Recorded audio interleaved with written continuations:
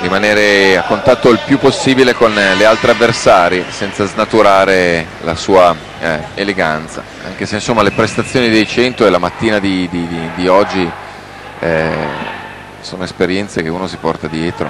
Sì, difficili però... da lasciare alle spalle così rapidamente. No, e oltretutto il 2.29 è a, è a, due secondi dal suo record italiano quindi per lei non si tratta di nuotare proprio dire, in tranquillità deve andare ad avvicinare il proprio limite Comunque seguiamola in questa ottava corsia, centro vasca Alexeyeva e Balfour con Alexeyeva che mi sembra intenzionata a dare il ritmo. Beh, il duello in, in casa eh, le impone di andare forte. Sorpreso arrivando alla medaglia dei 100 e credo che sia galvanizzata da questa prima esperienza europea. Di fianco a lei la Balfour, una rana che noi abbiamo eh, definito gentile in tempi passati, comunque una rana molto classica, molto bella Peraltro eh, la Balfour è una delle tre atlete inglesi già qualificate per i giochi olimpici, solo tre, ovvero i medagliati individuali ai passati campionati del mondo. Eh, la sua è veramente una, una, abbiamo detto gentile, anche perché sembra chiedere per cortesia all'acqua di prestarsi al gioco, a differenza di quanto fa la Alexeyeva che è piuttosto veemente nel suo gesto. Veloce e poi chiara, guarda sulla Vestrin anche, eh? La Vestrin in alto in uh, prima corsia.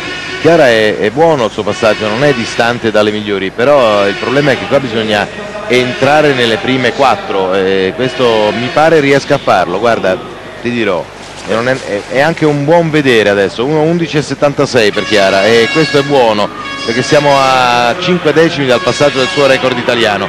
Sta risalendo è quarta quindi il duello adesso è con la Vestrin e forse anche un po' con la Predecka, la polacca, tra loro deve metterle dietro, deve tenere dietro queste, una di queste due atlete. Sta controllando bene la nuotata Chiara, sfruttando al massimo la gambata, rimanendo larga anche con eh, gli arti superiori.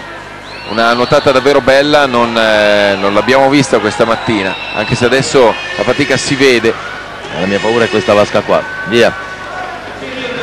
La virata eh, Luca aspetta dai è un netto peggioramento due secondi più nella terza vasca rispetto alla seconda questo eh. è, un, eh, è, un, dato indicativo no, purtroppo anche l'occhio vuole la sua parte no? e quindi però ci prova, ci prova con eh, caparbietà, aumenta un po' di frequenza, la bracciata non ha più l'efficacia di prima e ahimè eh, davanti cominciano a salire. Vediamo come si chiude, certamente va va Alexeyeva che sa di avere un duello comunque a prescindere dalla, da tanto 2.26 netto 2.27.90 per la Balfour